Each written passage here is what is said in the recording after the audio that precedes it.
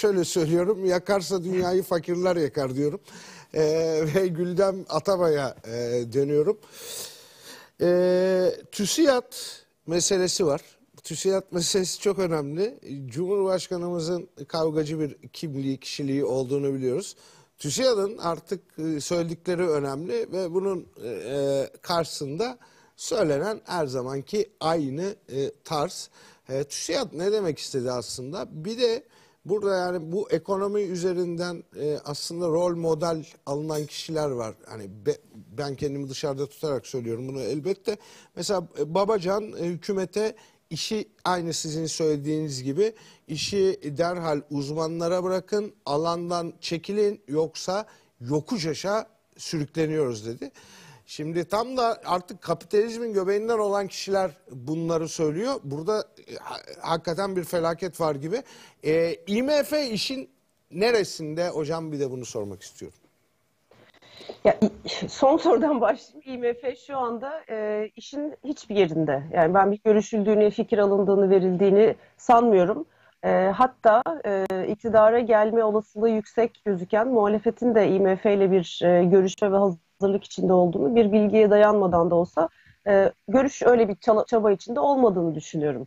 Şunu belki vurgulamak lazım. E, bu bahsettiğiniz kurumlar işte TÜSİAD, e, AKP'nin en şaşalı döneminde ekonomiyi yöneten Babacan e, ve tabii IMF bunlar hani bu kapitalist düzenin bir parçaları olarak bakarsak eğer hepsinin benzer uyarıları yapıyor olması son derece ilginç.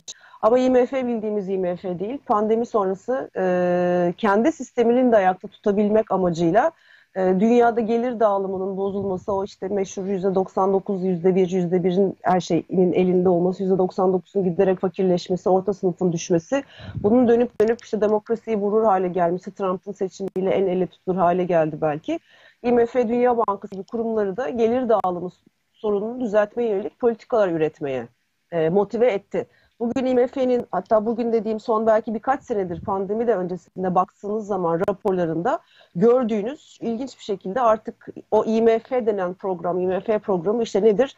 Fakiri e, ücretleri kısıtlar, işte fakiri daha fakirleştirir, kaynakları başka yerde kullanılır.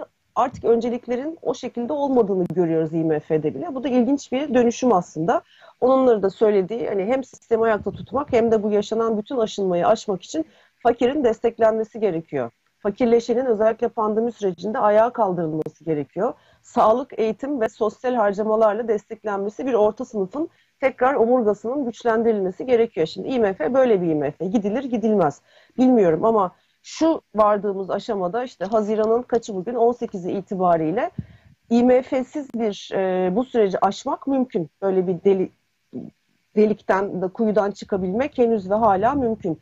Ama az önce bahsettiğimiz şekilde bir ani duruş, bir yokluk, işte e, DEVA'nın lideri, eski ekonominin patronu Babacan'ın bahsettiği gibi yokuş aşağı gidip de bir duvara çarparak durma anında öyle bir dövizsiz kalmak, işte üretimin durması, enerjinin durması, enerji ithalatının durması, işte marketlere gittiğinizde rafların boş olduğunu gördüğünüz bir yerde artık orada IMF'siz bu işten çıkmak çok kolay değil oraya kadar gitmeden erken seçim diyor. Akıl, aklın yolu zaten. TÜSİAD'da e, hani çok eleştirebiliriz kendisini. Bu sürece gelişte e, belki e, destek olarak değil ama sessiz kalarak e, bazı şeylere e, göz yumarak e, bir sivil toplum kuruluşu olarak baktığımızda bir iş adamları organizasyonu olmanın ötesinde diğer e, kimliğiyle baktığımızda e, bazı işte sahneler geliyor bazı üyelerin alkış tuttuğu işte e, bazı konuşmalara vesaire vesaire. Bunların hepsini geride bırakalım. Hani bugün için sadece baktığımız zaman söylediklerine katılmamak mümkün değil. Kötü gidiyoruz. E, büyüme ve enflasyon ya da enflasyon yaratarak büyüme, biz büyümek için enflasyon yaratıyoruz gibi bir e, söylem e, sürdürülebilir ve gerçekçi bir söylem olmamanın ötesinde artık ekonomi kitaplarında bundan 20-30 yıl önce e, çeşitli tezlerle, çalışmalarla ispat edilmiş. İkisinin yayına gitmediği. Siz büyümek istiyorsanız ve sürdürülebilir, sağlıklı, kaliteli büyümek istiyorsanız enflasyonu düşürmeniz gerekiyor. Önce bir zemini kaygan halde olmaktan çıkarmanız, insanların önlerini görmelerini sağlamanız gerekiyor. Bu da enflasyonun istikrarlı ve düşük seyirde olması. Hangi ülkedeyseniz o para biriminin oynaklığının ve sürekli değer kaybeder gibi Türkiye'de olduğu gibi olması insanların yatırım yapabilir, e, karar alabilir, umut edebilir, umut ettiği için cesaret edebilir ve e, reel sektör içinde var olabilir ve üretken hale gelebilir halde tutulması için enflasyon düşük olması gerekiyor. Dolayısıyla hani bugünkü ekonomi yönetiminin dediği e, işte biz enflasyona razı olduk ama işte büyüme uğradık tamamen yanlış ve sürdürülemez bir politika zaten. TÜSİAD da orada uyarıyor. Gelin e, böyle bir enflasyon, böyle bir yıkım yaşanmadı. Gelin biz ortodoks yani bilinen yollara dönelim. E, burada bu geminin gidişi hani ya batacak ya da kamyon örneğinde ya da duvara toslayacak. Buradan dönelim. Bu çok ciddidir. İşte fakirleşmeden bahsediyor o da aynı şekilde. Yani aslında bütün e, kapitalist düzende bu işi yaratmış, yaşamış bu kapitalist sistemi beğenelim beğenmeyelim onun da kuralları var. Hani o kurallara geri dönelim, tekrar bunları resetleyelim, üretken hale dönelim ve e, eğer ülkede bir üretilen büyüme olacaksa, bir refah kazancı olacaksa bunun daha adil paylaşımı için bir takım politikalar üretelim deler. Çünkü biz asgari sınırın çok altına düştük biz. E, hani kapitalist sistemi beğenmeyelim, beğenelim, tartışalım. Onun bile kurallarının geçerli olmadığı diyorum ya hani kuralların olmadığı, aklın olmadığı, hani bu dürtüsellikle yönetildiği bir adı olmayan e, gerçekten bir tek insan sistemi içinde gidiyoruz. E, ne önü var ne arkası var ne önü görmek mümkün. Çünkü rasyonel bir kararın ne olabileceğini, neden sonuç ilişkisini görüyorsunuz. Ama işte Cumhurbaşkanı'nın kafasındaki bambaşka olabiliyor. O çoklu aklın gerektirdiği yere gitmeyip ter, 180 derece ters bir karar alınıp çok daha ters bir yolda, yanlış bir yolda ilerlenebildiğini görüyorsunuz. Bunu ne zamandır özellikle görüyoruz? İşte 2018'den beri ve hani bu kadar toplumun umutsuz, gelecekten de umutsuz olmasının sebebi biz 2018, 2019, 2020, 2021, 2022 kaç senedir artan oranda hiç bitmeyen aslında bir e, sorunlu bir ekonomide ilerliyoruz. İşte 2018'de kur krizi, o Rahip Brunson diye biliniyor ama o aslında ekonomide yine yanlış politikaların, aşırı büyüme politikalarının sonucuydu. Arkasından pandemi, arkasından pandemi sürecinde şirketlerin reel sektörün desteklenmesi, hane halkının işini kaybeden, gelirini kaybeden hane halkının size ucuz kredi veriyoruz, daha çok borçlanın, daha çok tüketin diyerek ekonominin hızlı bir şekilde çıkartılmasıydı. Arkasından işte 2021-2022 Ukrayna e, işgali, enerji fiyatlarının artacağı belli, enflasyonun artacağı belli. Daha önce hatta geçen yaz yaz aylarında enflasyon yükselme eğiliminde olduğu belli. Tam ters yönde gidiyorsunuz. E, enflasyonu patlatıyorsunuz. Bugün %73 TÜİK rakamıyla işte Enag'ın rakamıyla %160'larda. Hadi ikisinin ortalaması %120-130 diyelim. Diyorsunuz ki biz bunu seçtik. İşte e, Nebati'yi koydunuz şimdi. Açık açık söylüyor. Biz e, büyümeyi seçtik. E, enflasyonu da işte geniş e, sabit gelirli kaybetti. Tek kaybeden sabit gelirli diyebilen bir hükümetimiz var. Bu, bunlar akıl alacak şeyler değil.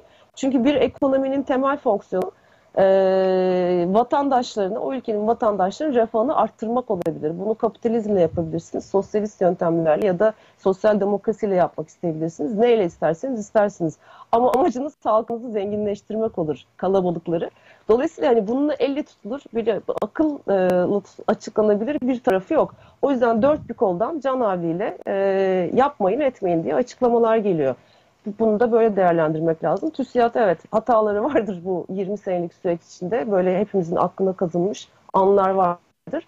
Ama e, bu son açıklamaları e, son derece net, hedefli, doğru ve açık sözlü bir şekilde e, hatta belki de bu konjonktürde e, biraz da cesur bir şekilde diyebiliriz. Öyle bir açıklama geldi o kanattan da.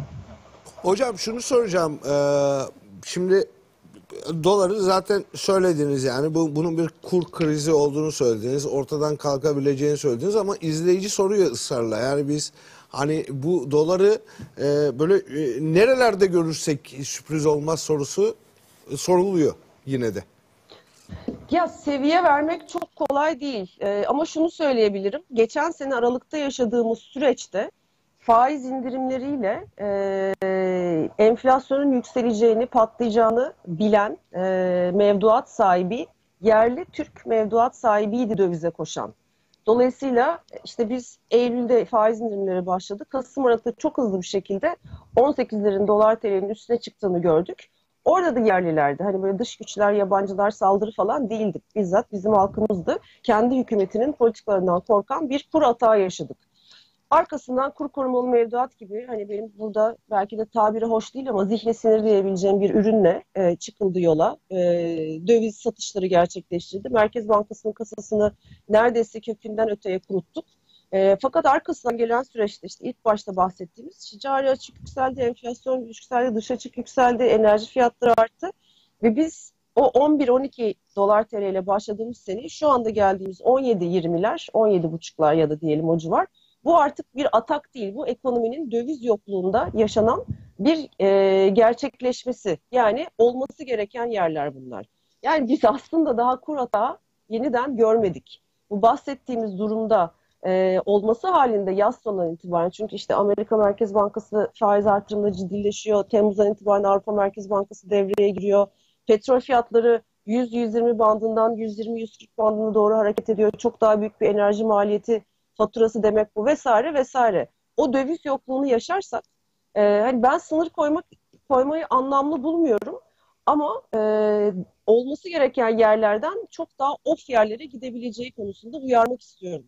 Bu politikalarla biz e, seçim zamanını bu irrasyonel e, tercihlerle işte Mayıs 2023'e Haziran 2023'e kadar ittirmeye çalışırlarsa e, riskin oldukça yüksek olduğunu düşünüyorum. Ama seviye vermek çok anlamsız. Çünkü biz geçen senesi 8,5 dolarla başladık.